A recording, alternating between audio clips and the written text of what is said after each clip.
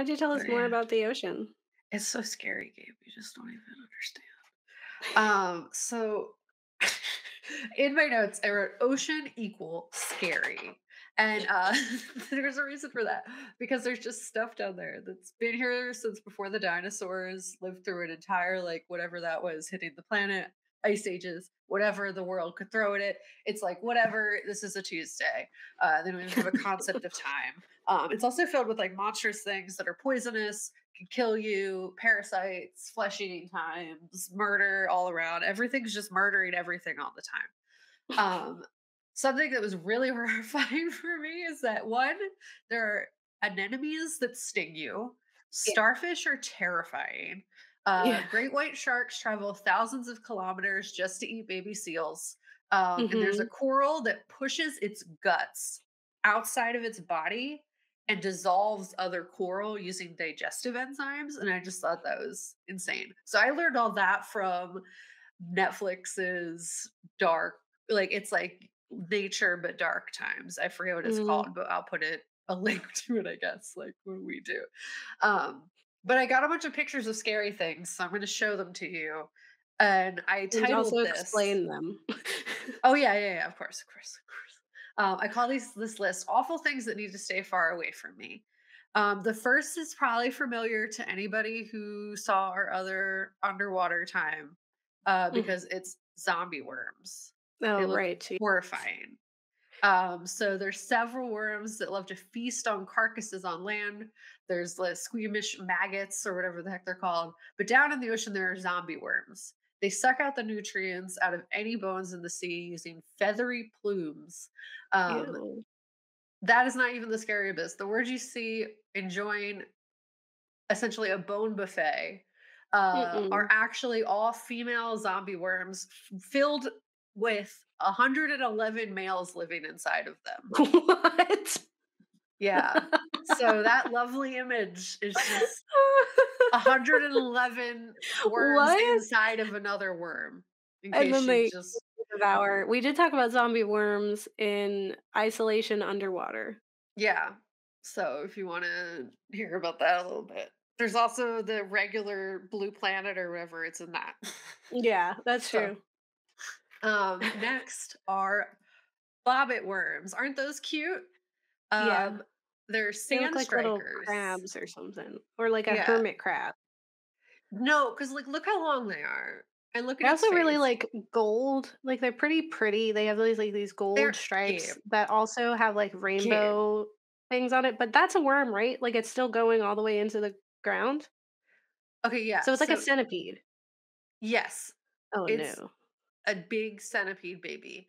Um, they are marine ambush predators with bone hard grappling hooks that can reach up to a length of the equivalent of a human's arm. These worms bury themselves in sand or gravel and can grab and drag their prey 20 feet per second, Oh slicing them in one go using their large, spring like retractable jaw with scissor like serrated plates. Although they so offer extra. I know. They offer no poison or actual harm to humans, although stepping on one can significantly cause painful wounds on your legs. Uh, if they do not harm you, simply looking at them will give you the creeps. Uh, Yeah, and they will ruin your day, yeah, yeah, essentially. yeah, yeah. Um, there's lots of worms on my list. I just want to say that. The next one looks like intestines.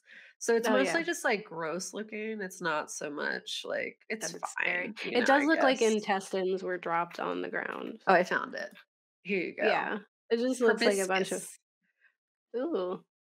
Proboscis worms. Uh, they grow at lengths of up to two meters and scavenge for grubs on the sea floor. These worms will eat pretty much anything they come across and have very few, if any, predators. So they're just really gross. They're not so scary. It's just like I they upset me to and at. undefeatable.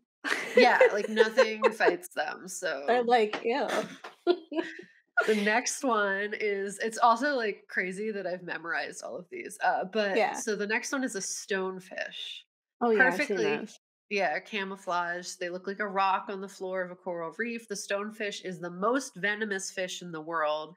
It has What? 13 spines along its back that release the venom, which could kill humans within just a few hours.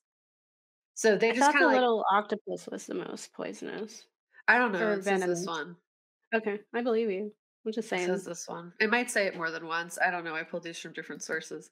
Uh, the next is the Sloane viper fish, which is also terrifying looking. Um, it's less than a foot long and it looks, it may seem relatively harmless, but its teeth are a force to be reckoned with. The fang like chompers are more than half the size of the viper's head, allowing the fish to impale prey by swimming at the victim head first, mouth agape. Okay, this fish So looks like a penis, first it of all. It does, yeah. But it the head teeth. of it looks like penis with teeth. It looks like the fish in Finding Nemo when is this like, uh, I know what you're "You're talking gonna be my best friend." It's a whole other fish that also lives in the ocean and it has a little light above its head, yeah. it's It this one doesn't have the light, but it has the same face. Yeah. Uh, the next one like is a call out to the bay. Yeah. Is Ooh, giant isopod I isopods. baby. I can't with them. Yeah, they're I know so that they're not dangerous, but they're the worst. Yeah, so these giant isopods live in the deep sea where they catch what the prey they can, allowing slow including slow-moving sea cumbers, sponges, and nematodes, but mostly scavenge the dead carcasses of fish, squid, and whales. Um, there's Just so just so much covering my eyes for that one. yeah, there's so much just like fish murder. Like they just Yeah. cannibalize each other. And I get like they're different species of fish, so it's not actually cannibalizing, but it's just like so much eating each other in murder times. I mean, we eat everything. I don't I don't either. Like I do, you know? don't either because texture. Um, Okay. but okay, so then we have Cece. Oh, Cece. Yeah, lionfish uh, is known for its many spiky fin rays, which are also happen to be highly venomous. All the really pretty Oh, fish are pretty venomous. Uh, found in the Caribbean and so East pretty. Atlantic Oceans, the lionfish packs a powerful sting if disturbed. The sting might not be fatal for humans, but it certainly can be painful. So if you like think of that New Girl episode, it could have not been a jellyfish. It could have been a lionfish. They could have actually found that in the ocean because they are poisonous, Mhm. and they just like didn't talk about that. Yeah. Um, And it was very illegal for him to have it Yeah. I imagine because they're poisonous. Yeah. They're murder You can't have them as pets because they will kill you. Yeah. They're Um, murderers. so my least favorite is next. Uh, snakes, but they're water baby snakes. They're sea snakes. Uh, found in the Indian Pacific Oceans, there are around 50 different species of sea snakes. The most poisonous species is the beaked sea snake, whose venom is eight times as toxic as a cobra's. Just Oh, 1.5 milligrams of its venom could kill you in up to eight humans. So, not even just one human, eight humans. Sure. Luckily, they are not known to attack humans often, just don't provoke them. Just sometimes. Who's provoking them? Who's like, "No, I feel like there's a jerk out there that's like, I'm gonna mess with this snake and then regret it. So Yeah. that sounds accurate to me. So sea urchins are also in the water. They're just little spiky balls of poison. Um, they have sharp, poisonous spines, which are extremely painful as they pierce the skin. The puncture wounds have a tendency to become infected. Um, but there is one picture here the flower urchin. Uh, is one of the more perilous sea creatures, as its extremely painful stings can lead to paralysis and even death. They are usually found on rocky or sandy seabeds of coral reefs in the Pacific and Indian Oceans, uh, but essentially are venomous. Uh, and you don't want to let its beauty fool you. Each of these flowers is actually a tentacle with a little jaw Mm-mm. that can inject toxins, toxic venoms into your and into you and potentially kill you. Um, and it was named one of the most dangerous sea urchins in the 2014 Guinness Book of World Records, and is on a list of 30 reasons why the ocean is scarier than space. The next one is a coral. It's fire Mm. coral. It's very pretty. Does look very Um, pretty. Nemo lives there. no, that's an anemone. Oh, I'm sorry. Not the stinging one. It's Look just like a regular guy. This is where they left and they went to touch the butt. Anyway, go on. Do your facts. Fire coral uh actually aren't corals apparently, so like why is that its name? They're members of the Hydrozoa class, which is closely related to jellyfish. Uh these creatures that ironically attached to coral can inflict a serious sting that causes burning or raised rash. So it's just like a bad time. The next one is a little octopus. It's actually very cute, so it's a shame that it's so deadly. So the blue ringed octopus is really cute and Oh, it's all yes. little. It's all little and cute, It is so cute. it's so murderous. Uh, so it's found in the waters of Australia and Japan. The blue ringed octopus is as dangerous as it is spectacular. When provoked, it's ti- this tiny octopus will start flashing a bright neon blue. Whilst it may be a dazzling sight, one bite can kill a human. The and it's yeah, it's gross in that way. The pufferfish has nothing to do with the blue-ringed octopus, but it's as venomous its venom is 10,000 times more lethal than cyanide. So Yikes. that's fun. I've seen like videos, like TikToks and like just random videos where they'll show someone like, oh, look at this cute thing. And then it's just like, it cuts to someone being like, they did. Yeah. like, or there's like I also people. misread what it was. Is the pufferfish has nothing on the blue-ringed octopus, as its venom is 10,000 more times more lethal than cyanide, and there is no antidote that exists. Yeah, you just, So it shuts down your system, your yeah, nervous you system. get it, you and your heart die. stops. This is what happens. It's sad for you. Uh, but you probably deserved it for touching that. yeah. Because it warns you, it gives you big blue light. It says, Don't touch me. I'm very pretty. Leave me alone. Uh, and then Same. you're like, I want to touch it. And then you touch it and you're dead. So, Wait, wait, wait. But look at me. Look at my eyes. yeah. Big blue light. I'm beautiful. Don't touch me. Yeah. I feel that as well. Yeah. Um, the next thing is a textile cone snail, uh, so which is also super pretty. Uh, but essentially, uh, the cone snail, if you get too close to it, uh, it basically injects venom through their radular teeth, capable of paralyzing and killing a human. So that little thing at the front there, uh, Mhm. this is radular teeth. It does a little bite, and you're dying. Um, It looks like a shell. It looks very pretty. If you aren't, if you're listening, just go to our YouTube and watch Kat's Facts section so you can see all the fish and the yeah. creatures. Um, the next one is familiar. It's a blowfish slash pufferfish, um, and it possesses venom that is 12, 1,200 times more poisonous than cyanide. So slightly less than the blue-ringed octopus, but still pretty bad. Um, they're one of the most toxic animals in the world, but despite their deadliness, the inflated fish is considered a delicacy in Japan, where hmm trained chefs prepare it for exorbitant fees. And they have to be really specific about taking out the poison part because Yeah, it like, and it's like it's like an art almost like to get that thing out of there. Yeah, you gotta be really talented. Yeah, Um, the next one is I love its name. It's the flamboyant cuttlefish, but you don't want to cuddle same. it. You don't want to cuddle it. I'm a flamboyant cuttlefish. Yeah. It is the only toxic cuttlefish known to exist. The colorful creature has been compared to the blue-ringed octopus, as in its poisonous flesh can kill any predator that dares to feast on it. And like the blue-ringed octopus, uh, marine biologists believe that it, this toxic tank dweller uses its vibrant colors to warn potential predators to stay away. I disagree because I am also toxic and a flamboyant cuddler. So You're not poison though, babe. Like you're not. You know, you're not toxic. made of poison. Okay. You're not the Britney Spears song or whoever made it originally that Britney Spears sang it also. Uh Yeah, yeah. gotcha. Picking it up. This guy, Crown of Thorns starfish. So starfish are really scary. I watched it like in the darkness documentary. It like ate other shelled fish in like a really gruesome way. And they just are really gross. There's so many tiny little holes that make them up. But this Oh guy yeah, is a can't look at them spiky guy. This is a spiky starfish. Uh so generally around 13 inches in diameter, the crown of thorns starfish is larger and much more dangerous than its benign, literally washed up relatives on the seashore. The coral-loving creature is covered in poisonous spines that cause intense immediate pain lasting for up to three hours.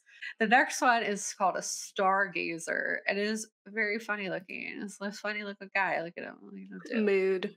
Yeah.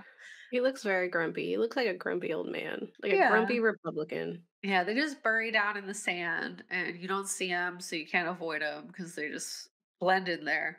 Um, and if you accidentally step on one, you'll know if you've been stung by bleeding, pain, swelling, and slight electrocution. So, Just a little electrocution for a well, treat. yeah, electrocution for treat. Um, this last, my last one I got here, uh, is this creepy little. Look at his teeth. Look at Look at his his. teeth. He has teeth that have extra teeth. Like each one of his teeth is several teeth. he has 300 rows of needle like teeth. The shark snags soft bodied squid and fish in the deep, How it attacks prey is unknown because it's in the deep, deep of the ocean. Um, and just its teeth are so gross. It's scary. Look at its little needle, guys. It's gonna. It It's looks like also so rude that it attacks soft-bodied when it has teeth like this. Like yeah, it could get what hard-bodied seems stuff. yeah, like, what are you doing? Yeah, it's in there just murdering stuff. It's all scary and whatnot. I'll also point out that, like, these are all things that we know exist Yeah, Because they're where we can see, Yeah. but there's just, like, There's so much so much in the we don't know time. There's so much Um, we don't know. there's so much of the, just the scary. The water is evil and wants to murder you times. Cthulhu is down there. Otherwise, where did Cthulhu come from in our brains? Well, that's what I I think, like I think it's funny because most Lovecraftian horror so Lovecraft just was like, sea creatures are scary, snakes are scary, bugs are scary, and he just like all his creatures and are like, "Let right. That's the one thing he's right about. Yeah, and then, like, uh, uh, and bats or whatever. yeah, Like, all of his stuff is just like, what do people not wanna see? Probably a lot of eyes and slimy creatures with too many appendages that are alien. And it's also funny because, like, I've been reading Dawn by Octavia Butler, yeah, her, um, Lilith Brood series, and the aliens in that, the Uloi, are, like, kinda I when I the way I've been envisioning them is kinda Cthulhuan. It's like yeah, 'cause they have, like, tentacles, but it's like their tentacles are their hair and their face, and it's really weird to explain. yeah, Um, but that's what they are. So, I think it's, like, totally fair to think, like, if aliens exist, that they would look like our sea creatures because they ha also have to exist in harsh environments and are probably just as, like, conniving and deadly and beautiful also.